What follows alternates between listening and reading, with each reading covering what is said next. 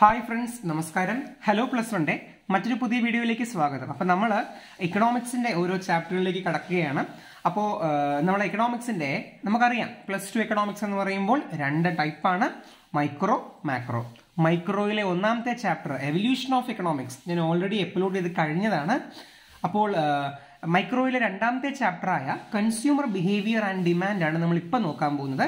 അധികം ഡിലേ ഒന്നും ഇല്ലാതെ വേഗം തന്നെ ചാപ്റ്ററിലേക്ക് കയറാം അപ്പോൾ കൺസ്യൂമർ ബിഹേവിയർ ആൻഡ് ഡിമാൻഡ് എന്ന് പറയുന്ന അത്യാവശ്യം വലിയൊരു ചാപ്റ്ററാണ് ഇക്കണോമിക്സിലേത് ഓക്കെ അപ്പോൾ ഇതിനകത്ത് നോക്കുമ്പോൾ ആദ്യം നമുക്ക് മനസ്സിലാക്കാൻ പറ്റുന്ന ഒരു ടോപ്പ് ഒരു ഈ ഒരു ചാപ്റ്ററിൽ പൊതുവെ കൺസ്യൂമർ ബിഹേവിയർ ആൻഡ് ഡിമാൻഡ് എന്ന് പറയുമ്പോൾ ഒരു മാർക്കറ്റിൽ ഒരു കമ്പോളത്തിൽ അല്ലെങ്കിൽ ഒരു വിപണിയിൽ ഒരു കൺസ്യൂമർ ഒരു എന്താണ് ഒരു കൺസ്യൂമർ എങ്ങനെയാണ് പെരുമാറുക? അദ്ദേഹത്തിന്റെ ചിന്തകൾ എങ്ങനെയായിരിക്കും? അദ്ദേഹം എങ്ങനെയായിരിക്കും സാധനങ്ങൾ ആവശ്യപ്പെടുക? അതിനെപ്പറ്റിയൊക്കെയുള്ള ഒരു ഇക്കണോമിക് സ്റ്റഡിയാണ് ഈ ചാപ്റ്ററിൽ ഉദ്ദേശിക്കുന്നത്. സിമ്പിൾ ചാപ്റ്റർ ആണ് പക്ഷെ കുറച്ച് വലുപ്പമുള്ള ചാപ്റ്റർ ആണ്. ഓക്കെ അപ്പൊ നമ്മൾ ആദ്യം ഈ ചാപ്റ്ററിലേക്ക് വരുമ്പോൾ മനസ്സിലാക്കേണ്ട ഒരു ടേം എന്ന് പറയുന്നത് utility what do you mean by utility utility എന്ന് പറയുമ്പോൾ മലയാളത്തിൽ നമുക്കറിയാം ഉപയോഗം എന്നൊക്കെയുള്ള അർത്ഥമാണ് വരുന്നത്. പക്ഷേ ഇക്കണോമിക്സിൽ നമ്മൾ അതിനൊരു ഡെഫിനേഷൻ കൊടുക്കുന്നുണ്ട്. The want satisfying power of a commodity is termed as utility ഇത് പഠിക്കണം കേട്ടോ. അപ്പോൾ എന്താണ് യൂട്ടിലിറ്റി ഉദാഹരണം പറയുകയാണെങ്കിൽ എനിക്കിപ്പോൾ ഒരു പേന. ഈ പേന എന്ന വസ്തു കൊണ്ട് എന്റെ ഉപയോഗം എന്താണ്? എനിക്ക് എഴുതണം അല്ലേ? സോ ഈ പേന എനിക്ക് ആ ഒരു ഉപയോഗം തരുന്നുണ്ട്. ശരിയല്ലേ? എനിക്ക് എഴുതാൻ പറ്റുക എന്ന ആ ഒരു സൗകര്യം എനിക്ക് ഈ പേന നൽകുന്നുണ്ട്. അപ്പം ആ ഒരു പവറിനാണ് നമ്മൾ എന്ത് പറയുന്നത്? ഈ പേനയിലൂടെ എനിക്കൊരു സാറ്റിസ്ഫാക്ഷൻ കിട്ടുന്നുണ്ട് അല്ലെ? എനിക്കൊരു സംതൃപ്തി കിട്ടുന്നുണ്ട്. അതിന്റെ ഒരു പവറിനാണ് നമ്മൾ യൂട്ടിലിറ്റി എന്ന് പറയുന്നത്. അങ്ങനെയാണ് നമ്മൾ എക്കണോമിക്സിൽ അതിനെ ഡിറ്റർമൈൻ ചെയ്യുന്നത്. നമ്മുടെ ആ ആവശ്യം നിറവേറ്റി കിട്ടുമ്പോൾ ഉള്ള ആ ഒരു power that want satisfying power നമ്മുടെ ആവശ്യം നിറവേറ്റാനുള്ള ഈ പേനയുടെ ആ ഒരു പവറിനെയാണ് നമ്മൾ എന്തു പറയുന്നത്? യൂട്ടിലിറ്റി എന്ന് പറയുന്നത്. സോ യൂട്ടിലിറ്റി എന്ന് പറയുന്ന സംഭവം ആക്ച്വലി നമുക്ക് രണ്ടായിട്ട് കാണാം. ഈ യൂട്ടിലിറ്റിയെ പറ്റി പഠിച്ചിട്ടുണ്ട്. നമ്മുടെ ഇക്കണോമിക്സിലെ യൂട്ടിലിറ്റി എന്ന് പറയുന്ന ഈ ഒരു കോൺസെപ്റ്റിനെ പറ്റി ഇക്കണോമിസ്റ്റുകൾ പഠിച്ചിട്ടുണ്ട്. പഠിച്ചപ്പോൾ മൂന്ന് വ്യത്യസ്തമായ അപ്രോച്ചുകളാണ് യൂട്ടിലിറ്റിക്ക് നിങ്ങൾ പഠിക്കേണ്ടതായിട്ടുള്ളത്. Number one cardinal utility approach number two ordinal utility approach and number three revealed preference approach ഇതിനകത്ത് ഈ ആദ്യത്തെ രണ്ടെണ്ണം കൂടുതൽ പഠിക്കണം. മൂന്നാമത്തതിന്റെ പേരും ആളുടെ പേരും മാത്രം അറിഞ്ഞിരുന്നാൽ മതി. കേട്ടോ? ഇവിടെ ആദ്യം കാർഡിനൽ യൂട്ടിലിറ്റി അപ്രോച്ച് ആൽഫ്രഡ് മാർഷലാണ് അത് കൊണ്ടുവരുന്നത്. അദ്ദേഹത്തിന്റെയാണ് അപ്രോച്ച് ഈ കാർഡിനൽ യൂട്ടിലിറ്റി അപ്രോച്ചിൽ പറയുന്നത് എന്താണെന്ന് ചോദിച്ചാൽ ഒരു വസ്തുവിന്റെ യൂട്ടിലിറ്റിയെ നമുക്ക് കാർഡിനലി മെഷർ ചെയ്യാൻ പറ്റും. എന്ന് പറഞ്ഞാൽ നമുക്ക് ന്യൂമറിക്കലി മെഷർ ചെയ്യാൻ പറ്റും. ഇപ്പോൾ ഉദാഹരണം പറയുകയാണെങ്കിൽ ഈ പേനയ്ക്ക് ഞാൻ പറഞ്ഞു എനിക്കൊരു യൂട്ടിലിറ്റി ഉണ്ടല്ലോ ഈ പേന കൊണ്ട്. എനിക്ക് ഈ പേന കൊണ്ടൊരു ഉപയോഗമുണ്ട്. എനിക്ക് ഈ പേന കൊണ്ടൊരു ഉപയോഗമുണ്ട്. ആ ഉപ യൂട്ടിലിറ്റിക്ക് ഞാനൊരു കൃത്യമായ വില ഇടുകയാണെങ്കിൽ അതാണ് കാർഡിനൽ യൂട്ടിലിറ്റി അപ്രോച്ച് എന്ന് പറയുന്നത്. ശ്രദ്ധിക്കുക ഇവിടെ ഞാൻ ഈ പേനയ്ക്കല്ല വില ഇടുന്നത്.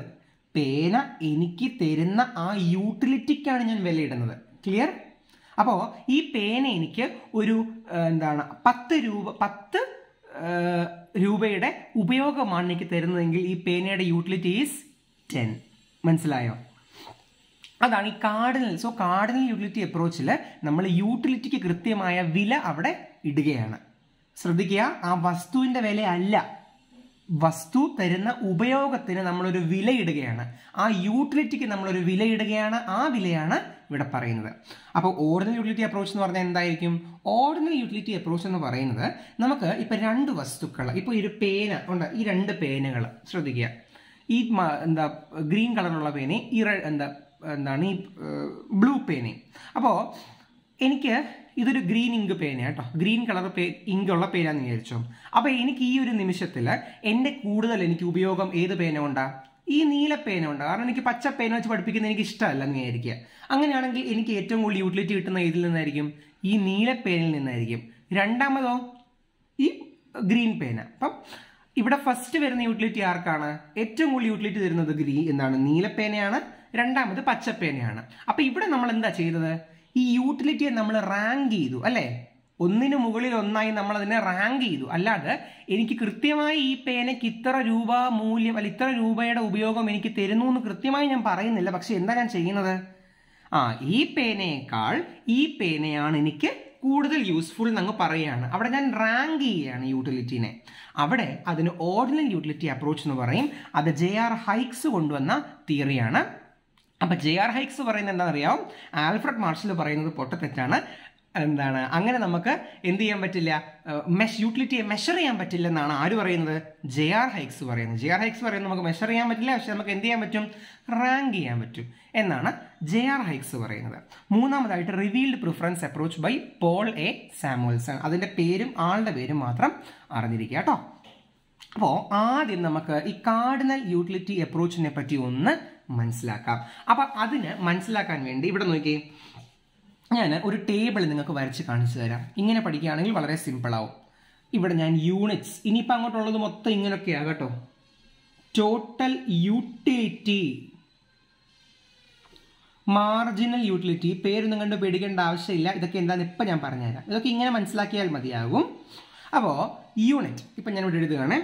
One two three four five six ഏതോ ഒരു വസ്തുവിന്റെ ഒരു യൂണിറ്റ് അപ്പം ആ ഇപ്പം ഈ പേനയാണെങ്കിൽ ഒരു പേന ഇതേപോലെ രണ്ട് പേന മൂന്ന് പേന നാല് പേന അതാണ് യൂണിറ്റ്സ് എന്നതുകൊണ്ട് ഉദ്ദേശിക്കുന്നത്.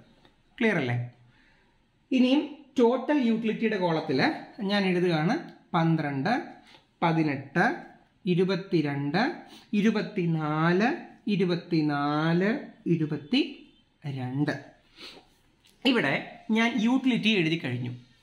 ഇവിടെ എന്താ അർത്ഥമാകുന്നത് മനസ്സിലാവും നിങ്ങൾക്ക്? ഈ ഒരു യൂണിറ്റ് വസ്തു ഏതോ ഒരു വസ്തു ഇല്ല? ഇപ്പോൾ ഈ പേനയാണെന്ന് വിചാരിക്കുക. ഈ പേനയുടെ ഒരു യൂണിറ്റ് കൊണ്ട് എനിക്ക് അതായത് ഒരു പേന കൊണ്ട് എനിക്ക് പന്ത്രണ്ട് രൂപയുടെ ഉപയോഗമാണ് എനിക്ക് ലഭിച്ചത്. പന്ത്രണ്ട് രൂപയുടെ യൂട്ടിലിറ്റിയാണ് എനിക്ക് കിട്ടുന്നത്. രണ്ട് പേന ഉപയോഗിക്കുമ്പോൾ എത്രയുടെ കിട്ടും? പതിനെട്ട് രൂപയുടെ മൂല്യം കിട്ടും. മൂന്ന് പേന ഉപയോഗിക്കുമ്പോഴോ? ഇരുപത്തിരണ്ട് രൂപയുടെ മൂല്യം കിട്ടും. നാല് പേന ഇരുപത്തിനാല് അഞ്ച് പേന ഇരുപത്തിനാല്. ആറ് പേനകൾ കിട്ടിക്കഴിയുമ്പോൾ എന്റെ യൂട്ടിലിറ്റി ഇരുപത്തിരണ്ടായിട്ട് കുറയും. അതെന്താണ് അങ്ങനെ സംഭവിക്കുന്നത്? പേനകൾ കൂടി കൂടി കൂടി വരുമ്പോൾ എന്തുകൊണ്ടാണ് ഈ മാർജ് ടോട്ടൽ യൂട്ടിലിറ്റി കൂടി പിന്നെ ഒരു പോയിന്റ് കഴിയുമ്പോൾ കുറയുന്നത്? അത് സിമ്പിളാണ് ഇപ്പം നിങ്ങളൊന്ന് ആലോചിച്ച് നോക്കൂ. നിങ്ങൾക്ക് നിങ്ങളൊരാൾ അപ്പം നിങ്ങൾക്ക് ഞാൻ ആദ്യം ഒരു ആപ്പിൾ തന്നു. അപ്പം നിങ്ങൾക്ക് ഓക്കെ സന്തോഷം. രണ്ടാമതൊരു ആപ്പിൾ തന്നു. അപ്പോഴും നിങ്ങൾക്ക് സന്തോഷം. പക്ഷേ ഞാൻ ഇങ്ങനെ നിങ്ങൾക്ക് തന്നുകൊണ്ടേ ഇരിക്കുകയാണെങ്കിൽ എന്ത് പറ്റും? നിങ്ങൾക്ക് ഒരു സമയം കഴിയുമ്പോൾ മതിയാകും എന്നൊരു കോൺസെപ്റ്റ് ഉണ്ടല്ലോ. അതുകൊണ്ടാണ് ആ ഒരു കോൺസെപ്റ്റ് കാരണമാണ് ഇവിടെ ഈ ടോട്ടൽ യൂട്ടിലിറ്റി ആദ്യം കൂടി വന്നിട്ട് പിന്നെ കുറയുന്നത്. മനസ്സിലായോ? അത്രേ ഉള്ളൂ സംഭവം. ഇപ്പം എനിക്ക് നോക്കൂ നിങ്ങൾ ആദ്യം ഒരു ആപ്പിൾ ഞാൻ നിങ്ങൾക്ക് തരികയാണ്. ആ ആപ്പിൾ കൊണ്ട് നിങ്ങൾക്ക് ഒരു നല്ലൊരു യൂട്ടിലിറ്റി നിങ്ങൾക്ക് ഉണ്ടാവും അതേസമയം നിങ്ങൾക്ക് രണ്ട് ആപ്പിൾ തരികയാണെങ്കിലോ? നിങ്ങളുടെ യൂട്ടിലിറ്റി തീർച്ചയായിട്ടും കൂടും പക്ഷേ ഓരോ ആപ്പിളും തരുന്ന യൂട്ടിലിറ്റി അവിടെ കുറയും. അതേപോലെ ഇപ്പം നമ്മൾക്ക് ഇത്രയും മനസ്സിലാക്കിയാൽ മതി. അമൃ അമിതമായാൽ അമൃതം വിഷമാന്ന് പറയില്ലേ? അതുപോലെ തന്നെ എന്തൊരു വസ്തുവാണെങ്കിലും നമ്മൾ ഒരുപാട് അങ്ങ് കഴിക്കാൻ തുടങ്ങിയാൽ നമുക്ക് മതിയാവും നമ്മൾ വൊമിറ്റ് ചെയ്യും. അതാണ് ഇവിടെ ഈ ടോട്ടൽ യൂട്ടിലിറ്റി ഒരിക്കലും വസ്തുക്കളുടെ എണ്ണം കൂടുന്തോറും യൂട്ടിലിറ്റി കൂടി കൂടി കൂടി കൂടി വരില്ല. അതൊരു വസ് ഒരു വക ഒരു ഒരു പോയിന്റ് വരെ അത് കൂടും പിന്നെ അത് കുറയും. എന്ത് വസ്തുവാണെങ്കിലും നമ്മൾ കഴിക്കുന്നതാണെങ്കിലൊക്കെ പ്രത്യേകിച്ച് ഒരു ഒരു പോയിന്റ് വരെ നമുക്ക് അതുകൊണ്ടുള്ള ഉപയോഗം കൂടിക്കൊണ്ടിരിക്കും. അതേസമയം വീണ്ടും വീണ്ടും വീണ്ടും കിട്ടിക്കൊണ്ടിരിക്കുകയാണെങ്കിൽ എന്ത് സംഭവിക്കും? അതിന്റെ യൂട്ടിലിറ്റി കുറയുകയാണ് ചെയ്യുന്നത് കേട്ടോ. അതാണ് ഇക്കണോമിക്സിലെ തിയറി എന്ന് പറയുന്നത്. ഇവിടെ മാർജിനൽ യൂട്ടിലിറ്റി എന്ന് പറഞ്ഞാൽ ഇത്രയേ ഉള്ളൂ. It refers to the change in ഇത് ഉണ്ടോ the change in total utility when one more additional unit of the same commodities consumed അതെന്താണെന്ന് ഞാൻ പറഞ്ഞുതരാം. അതായത് ഇപ്പൊ ഒരു യൂണിറ്റിൽ നിന്ന് രണ്ട് യൂണിറ്റിലേക്ക് ഞാൻ എന്താണ് ഉപയോ എന്റെ യൂണിറ്റ് ഞാൻ കൂട്ടുമ്പോൾ അതായത് ഇവിടെ ഒരു പേന ഉണ്ടായിരുന്നുള്ളൂ രണ്ടാമത്തെ കേസിൽ രണ്ട് പേനയായി. അപ്പോൾ ഇവിടെ ഒരു യു അഡീഷണൽ യൂണിറ്റ് വന്നപ്പോൾ ടോട്ടൽ യൂട്ടിലിറ്റിയിലുണ്ടായ ആ ഒരു ചേഞ്ച് എന്താണോ അതിനെയാണ് ഞാൻ എന്തു പറയുന്നത്? മാർജിനൽ യൂട്ടിലിറ്റി എന്ന് പറയുന്നത്.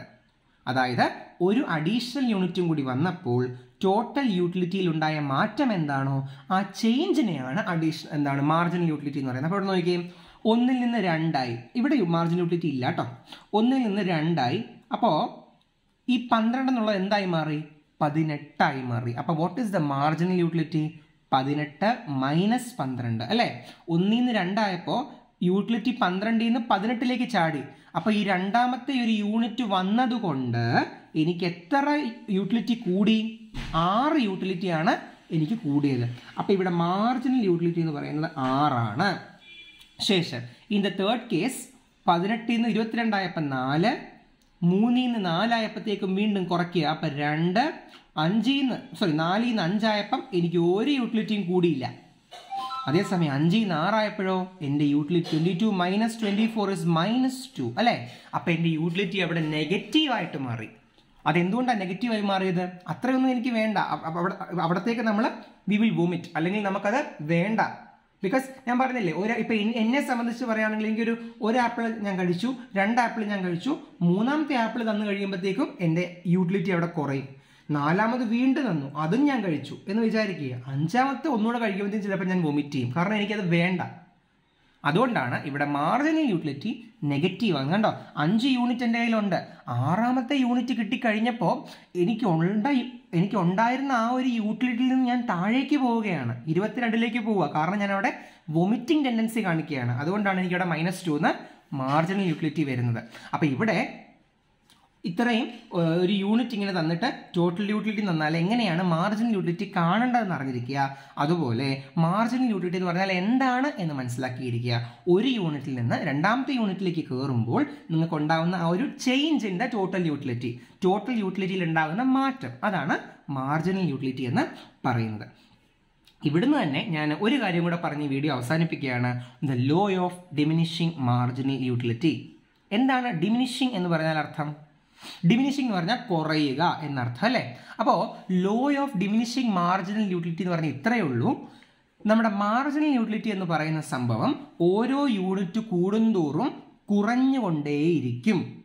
ഓക്കെ അതായത് the law of mar diminishing marginal utility states that അതൊരു ലോയാണ് ഒരു നിയമമാണ്. എപ്പോഴും അത് അങ്ങനെ തന്നെയാവും സംഭവിക്കുക.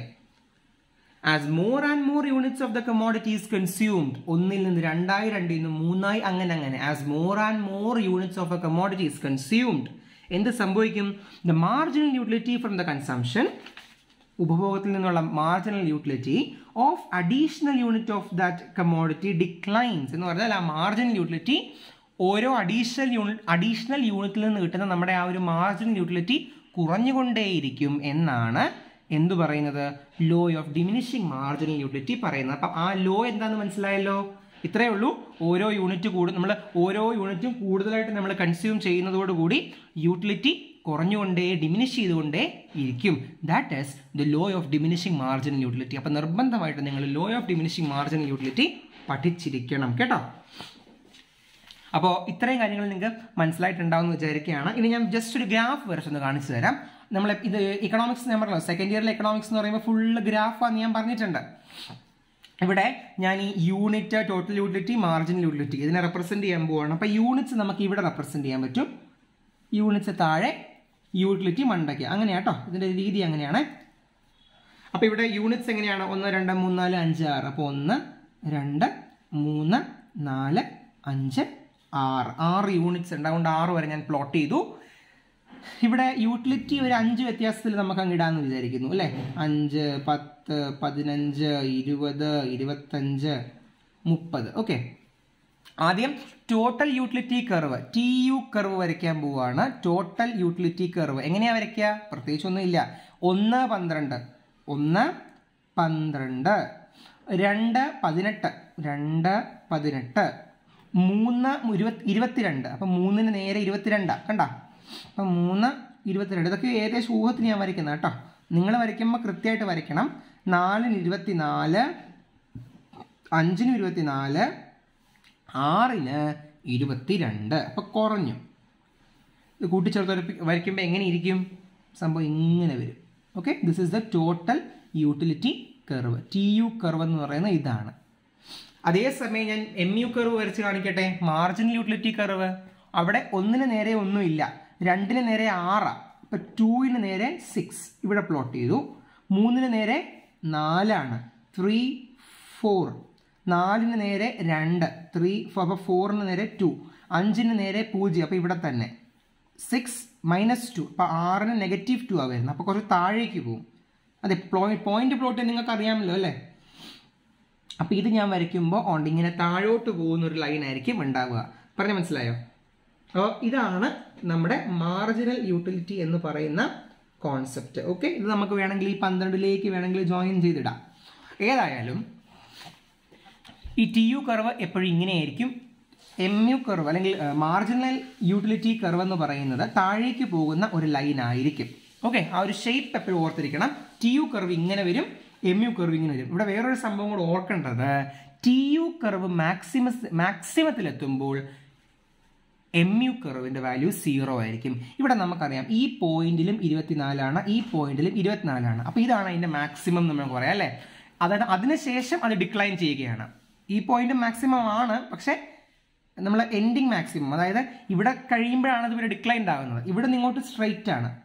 ഇത് കഴിഞ്ഞാൽ പിന്നെ താഴോട്ട് പോവുക. അപ്പം ഇവിടുന്ന് നേരെ താഴേക്ക് വരുന്ന ആ ഒരു പോയിന്റിൽ തീർച്ചയായിട്ടും മാർജിനൽ യൂട്ടിലിറ്റി സീറോ ആയിരിക്കും എന്നത് ഇക്കണോമിക്സിലെ ഒരു സ്റ്റേറ്റഡ് ലോയാണ് അത് ഉറപ്പുള്ള കാര്യമാണ്.